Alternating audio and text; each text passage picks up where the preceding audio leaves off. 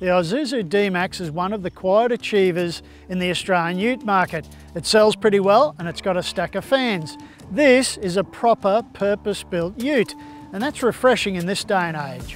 For even more details, read my full yarn at carsguide.com.au and if you're watching this on YouTube, hit like, hit subscribe, share the video with your mates to stay up to date with all of our reviews. The SX Crew Cab 4x4 is the entry-level pickup style D-Max. It has a 3 litre 4 cylinder turbo diesel engine, a 6 speed automatic transmission, part time four wheel drive system, and 16 inch steel wheels.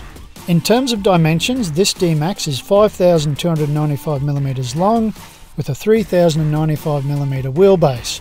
It is 1,860mm wide, 1,785mm high, and it has a listed curb weight of 2,016 kilograms. The tray is 1,552 millimetres long at floor height.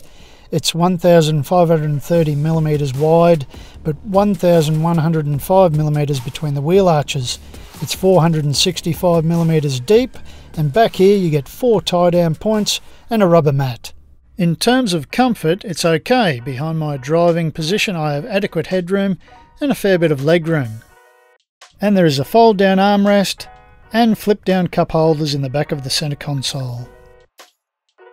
The interior is very basic but it suits this ute to a T. Big expanses of durable plastic, cloth seats, big chunky rubber mats to catch all that dirt and mud that you bring in on your boots, and vinyl flooring to catch all the stuff that the mats don't. It's all ready for real life. It has a 7 inch touchscreen with basic functionality, and the screen itself is a bit awkward to use.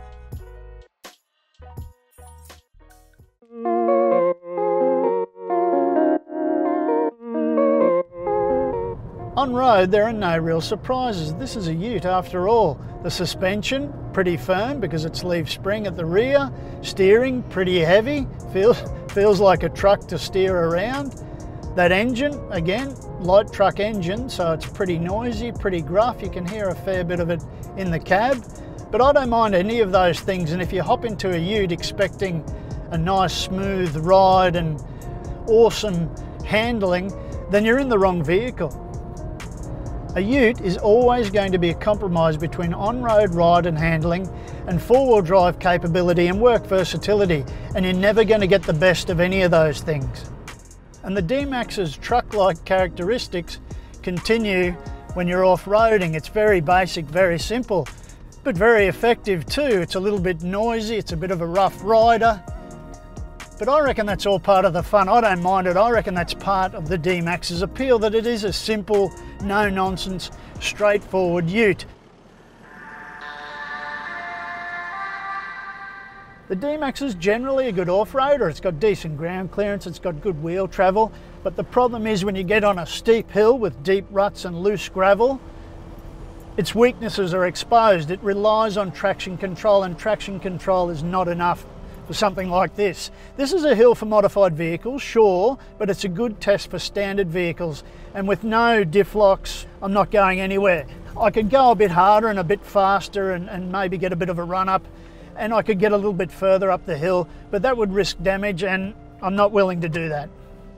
And before all the armchair experts get fired up, I had a few cracks at this hill and that was with traction control on and off and I was in high range and low range on a couple of runs.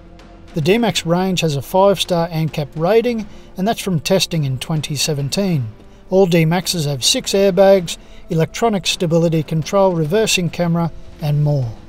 Fuel consumption is a claimed 7.9 litres per 100 kilometres and that's on a combined cycle. It was showing 10.4 on our dash but we recorded an actual fuel consumption on test of 14.2 but that might be a little bit high because in the past we've recorded 11.6 and 10.7. That higher fuel figure this time round might have been the result of so much low range four wheel driving. The D-Max has a claimed payload of 1,034 kilograms, an unbrake towing capacity of 750 and a brake towing capacity of 3,500. It has a 76 litre fuel tank and a 5 year 130,000 kilometre warranty. The D-Max is a pretty decent all-round ute. If you're going to use it as an off-road tourer, I'd think about more aggressive all-terrain tyres. I'd upgrade that suspension and I'd seriously think about an aftermarket diff lock. The new D-Max arriving here in late 2020 will have a rear diff lock, but that's if you're patient, you can wait for that. But those aren't the problems, the problem is the price tag. If Isuzu knock five or even better 10 grand off of it, it'd be even more appealing. What do you think? Tell us in the comments section below.